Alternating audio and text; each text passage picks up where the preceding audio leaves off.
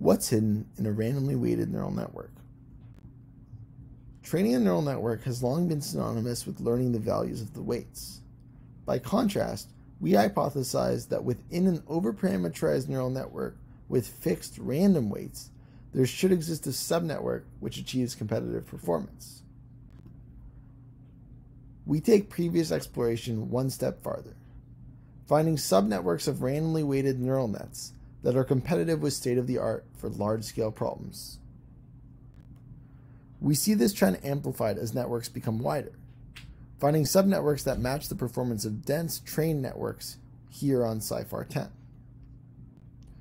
For the algorithm and theoretical motivations, in addition to the effect of depth and initialization, please check out our paper. Thank you.